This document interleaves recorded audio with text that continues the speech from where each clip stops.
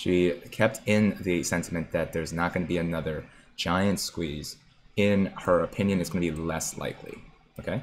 Even the original question asker was uh, edited and said, I appreciate it and respect her answer. Also agree with this person in that Alexis hasn't really familiarized herself with the GME DD. She didn't even know what the mother of all short squeezes meant, right? So which is definitely understandable. She doesn't have infinite amounts of time for us. What I'm saying is don't get depressed just because she doesn't believe in the mother of all short squeezes. Who of us did before reading the DD about it? Hodl.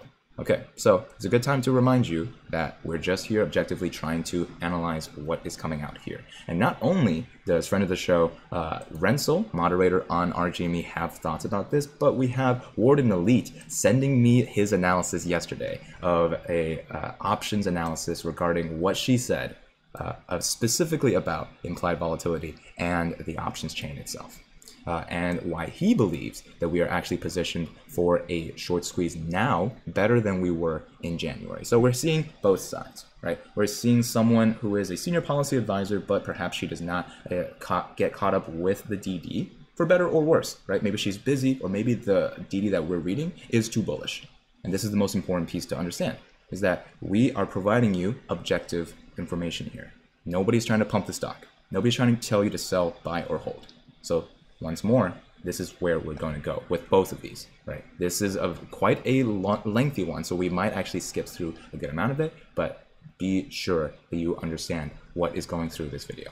So Renzel's thoughts first, Hey everyone, I know I'm getting pinged. I thought of, of, instead of replying to each and every one of those, I just post this. I will, however, keep it short as I'm not feeling well. Oh no, Renzo, feel better, please. So before we have some people paper hand, let's look at some logical reasons why this may have been her response. All right, we just saw her response. This is the same link that we just read. Liability.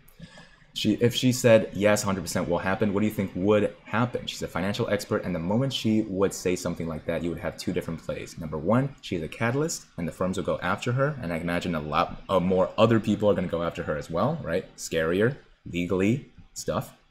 uh, number two, she would say it, and it and it won't happen in the foreseeable future. And all the people invested in GME after she said it would happen could sue her for misleading people, right? This is why we are uh, like building out a better channel. If you guys heard that announcement already about how we are changing the channel forward, I'm not going to uh, like verbatim tell you the news without giving you at the very least a piece of objective an analysis from my side. And I agree with this like logical compartmentalization that Renzel is building here, right? We have many reasons why she does not want to be able to be a target, uh, to be someone who is blindly saying this will happen, right? However, I do think that she made herself uh, into a a spokesperson, whether she wanted to or not, by coming onto this AMA, and then she had an obligation to, at the very least, not take a strong side on either side. And I think that it's not likely that her language was strong to this extent that it makes people feel more bearish than she might realize in her position. So that's why I'm going to take very, very careful and just explain to you my analysis of her thoughts, okay? Because I understand my position as well. Number three, people would hear a financial expert say this and they would FOMO in and cause a FOMO wave never seen before. And that's why we get scissors in the chat. We don't want this to happen, right? We don't want someone like in her position to say, yeah, it's going to happen. Then we get a bunch of paper hands in here who just want to get in on the money, not the actual project, the goal, the, the big money that we actually all care about. Four, after GME, I don't think we would ever be in a situation like this ever again. Lots of people said this is a once in a lifetime opportunity, and I think they are right. If you look back on 2008, what did you think happened to Michael Burry? He was pestered for years by the SEC and FBI, as was everyone else who foresaw that happen. So, can you think of a reason why both Mr. Kelleher and Ms. Goldstein may be careful with the words they use and write? Yeah, that is 100% the kind of situation that I have to think about all the time. Meatball is getting more focus from the autofocus than I am. I'm jealous. Go and do your own DD, right? There you go. So that's Renzel's idea. It's very, very good. Uh, it is essentially what do you think she, what kind of options do you think she had, right? Do you think that she had the ability to be like, yeah, 100%? However, that is once more a, a easy way to play it off in your brain, right? And I don't want you to play it off in your brain. I want you to put it in your brain that Alexis Goldstein is not bullish on another short squeeze. Uh, another mother of all short squeezes coming. Uh, so, but she does think that volatility will continue. Let's see what uh, Warden Elite has to say. And then I appreciate, I applaud you guys for getting this far in this video. So thank you guys so much. And let's focus up and see a counter argument to why we are actually better positioned now than in January, right? Not financial advice, of course. Hey, it's Warden here. Uh, he spent his Friday night writing this article, sent it over to me. Uh, very cool of him, so he's a boss. Let's talk about the gamma squeeze possibility. First off, she seemed to reference the same thing I referenced in the past. Options premiums on GME implied volatility are through the roof, right? And they assume they will be going on for some time. Option sellers are going to demand a major premium for taking on risk of it going haywire again. So these are her words. This is the main rhetoric for why a gamma squeeze cannot happen. For smooth brains, call options are extremely expensive because of high implied volatility. High IV leads to higher premiums. For a gamma squeeze to happen, you need to have a lot of buy, excuse me, you need to be able to buy lots of call options quickly and cheaply. Let's take out Mr. Whiteboard and explain this. What is implied volatility? What is the uh, what is the gamma squeeze? And why is a high IV unlikely to provide a gamma squeeze? The gamma squeeze we've covered so many times before, and it's the idea that you currently want to set a date and time for the stock movement. You want to be able to see what's going on in the, in the chat here. Uh, do not spam, guys. So we you a call option is the idea that currently the stock is like over here. Whoa, right?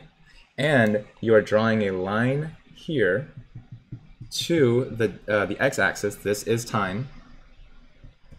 This is price. You're saying at some point the price of the stock is going to rise above this line before I get to this line. This is when the contract expires. And this is the strike price hey, we just figured out a call option. You are trying to get this price of the stock higher than this SP before the exp expiration date. Right, I'll call this ED. So now you understand that the crazier this graph is, I know I, I, know a chart can't look like that, but the crazier it is, the higher chance it is that this actually happens, right? So with greater volatility, uh, a person that sells you the option to be able to take this bet is going to charge more. So with less of these options being bought, there is going to be less chance that we have the snowball effect of being able to have a multiple call option. So now that you understand what that is, an individual call option, you can look at prices here as Oh, thank you so much, uh, Eraser from the gods. So this is the options chain that we have seen multiple times, right? This is uh, leading up to where these are all out of the money. For, let's say, for example, so these are $200 call options all the way up to $800 call options, right? As we start to roll over, if we have a good amount of calls, then we are going to start picking up price. And the people that, most important piece of the gamma squeeze is that people are going to delta hedge. And by delta hedging, they are buying the stocks in advance so that they can sell it to you at this price point instead of waiting and then having to sell it to you at this price point. Right? They can't take that much risk because, once again, of the high IV. They have to delta hedge. So they have to delta hedge. The volatility is crazy high and now they are going, this is, if there's enough of these bars, all of these are call options. This is the option chain. Enough of this snow on the ground allows us to track further. And unfortunately, with this uh, volatility and the high price of it, we're not going to have enough of these bars. So if, if smooth brain still needs a banana, just understand that right now uh, the gamma squeeze needs cheap options. And we're not going to likely see that because who in their right mind is going to be accidentally uh, having to pay for a gamma squeeze? The simplest way that I can explain it is let's say that uh, we are currently playing insurance, like insurance salesman with crazy rock stars going to a hotel room they're likely going to crash it who's going to want to pay for that insurance right the people selling contracts they're going to charge through the roof. And just by that fact, we're likely not going to see um, a lot of rock stars trash a lot of hotel rooms because they the insurance is going to be too expensive. Okay, we've uh, we've actually seen significant IV crush this past week, right? IV is just it getting lower week after week. The IV has settled down, and prices for calls has gotten cheaper. So what I just described was Alexis Goldstein's idea, and what uh, Warden is trying to say is that IV is actually dropping since uh, and getting cheaper and cheaper, which would allow us to be able to get more and more call options in that options chain. The cyan line, let's look at this little chart here. The cyan line at the bottom is implied volatility. Notice how it's going down over time. As you can see, we have settled back down to the IV from before the 224 climb. In fact, we've increased the price fourfold while decreasing IV. That is extremely impressive and evidence that bulls have very good control over the recent run-up. Okay, uh, so uh, we're going to skip a little bit, but that's the idea that IV is actually decreasing. Look at the data. Uh, they believe that bulls are building that launch pad and it is near completion. They believe that gamma squeeze is once again possible in the near future. Okay, so because IV is dropping, we need to see, once again, we're keeping our eye on that option chain every single day of the market. So if we start to see more and more snow on the ground for that snowball to roll through, that is a bullish sign for sure. Uh, Okay, I'm to uh, just try and dissect this here. Is the short interest still high?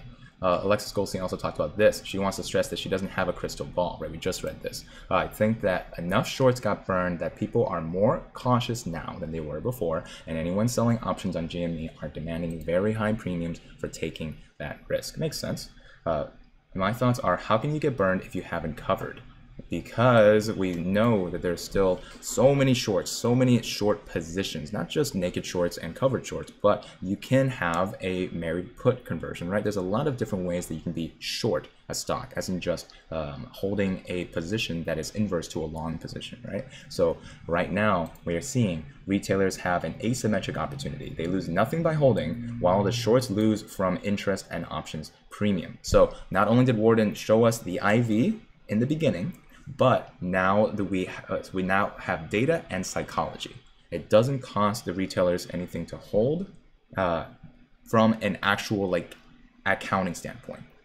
In money, out money, right? So for you, you will have unrealized losses if the stock falls. You will have unrealized gains if the stock rises, but it doesn't cost you a dollar to hold, is what Warden is trying to say. Uh, let's see. He, in fact, believes that it's still extremely high, over 100%. We've talked about why that, uh, that calculation is. Go check out some other videos down in this channel if you guys haven't yet already about why. Uh, let's see. Why would they need to reset FTDs if SI is low? This is one of the most important videos that you need to understand. The FTD cyclicality, right? That's one of the newest videos that I uploaded. It's called like must watch if you have AMC or GME, the uh, DTCC 005 rule. There, I explain exactly what the cyclical nature of FTDs are, and that was the, the beautiful little picture I had on this whiteboard before I erased it. So, uh, RIP whiteboard. What about institutional ownership in the Bloomberg terminal? It shows before January it was 194%, now it's 130%, right? So it's probably a little bit higher. Uh, I think they moved the 9 million shares to a different alias. Okay, so this is just a couple of afterthoughts here. Are long institutions still in it as retail holding, right? We've talked about uh, the whales, short whales because of the the bad guys, right? The Citadel and the Melvins of the world, but also long whales, right? Who are the people that are the guardian angels for us? Let's let's try to find out. Uh, retail has been FOMOing in, but with diamond hands. People aren't selling. The decrease in institutional ownership doesn't concern me because they see 64% gap was filled by retail in the recent run up. So right here, he has drawn a, a very light red box here, and this run up that he believes, starting all the way back, I'm, I'm gonna see if I can recognize this chart here. Uh, this is the gamma squeeze in March. Wow, I'm starting to really live, breathe, and, and eat this stuff. So he believes that this uh, squeeze started off with retail buying in. We've seen his analysis before, and he still strongly believes that. So we we own the float right now, according to this hypothesis. Right, we are the whale. Uh, let me see if there are any main points here possible catalyst in April, right? Likely that we are going to want to check this out here. Uh, they believe that there are plenty of catalysts coming in April. If you have the share recall, right, the same shares that are recalled will also happen to be shorted, those shares must be covered and there will be a short squeeze. Okay, this sentence is a little bit simplistic, simplistic. However, I understand where you're going for. Let's not forget about April 4th, uh, 2020 during this last share recall, SI was high and the stock skyrocketed from six dollars uh, to six dollars from a dip of 250. I believe uh, if that kind of proportion happened again, right, like barely a two, three hundred percent increase, people are not going to think that that's the mother of short squeezes. But I understand the sentiment here, right? That there was a share recall basically around this exact time last year, and SI was high back then as well. Okay, let's see making some really good points, some excellent DD. Uh, let's see. Uh, plan to talk about statistics, variance, and comparing VWAP across exchanges on his Monday stream. Heck yeah! Well, I'm excited for that. Uh, if you, if he also addresses some of the drama here, guys, apes do not fight apes. Make sure that you are being good to each other and go all the way up to the top of this. Give it a fat thumbs up hold on, give it a thumbs up and um, understand that all of these resources are going to be in the description below. If you guys have not yet seen the update video on what's going to happen on this channel, go check it out. We have some lofty goals. We have some important steps to cover. But at the end of the day, right, let me give you my two cents. Data is king. Data is 100% what we need to focus on here. We, none of us should ever be in a position where people are, are able to come up to us, disrespect us, and say, hey, you're pumping a stock that you don't know anything about. We know more about this stock than I think I know about like the craziest trivia that I know. More than I know about anime. More than I know about like D&D. Maybe, I'm not sure. But I know some random knowledge. And this is a stock that I know very, very well. So as we continue learning the fundamental research, right, we're starting to uh, create those building blocks for you, being able to be a technical analysis trader like me, and uh, be someone who is taking in objective sources and then playing around with those ideas. This channel is not only about AMC and GME, however, I know you guys are looking for that update, so thank you for staying all the way to the end for this lengthy but very important doubled look at what Alexis Goldstein says, what the logic behind that, thanks laid out by Renzel, and the data laid out by Warden. Warden and I are going to be working tirelessly over this weekend, talking over his DD and, and looking through a little bit more about what we should be preparing for market open on Monday. And I will see you here. We go bell to bell every single morning of the uh, the stock market open and the next time that's going to be open enjoy your long weekends guys is going to be on monday so once again, I really want to thank the people that make this show possible. If you want to see your name on here, I'm uploading, uh, I'm updating this list uh, by Monday. So if you guys want to see your name on this uh, end screen for a whole week, press that join button next to the subscribe button, or go ahead and check out the Patreon link down below.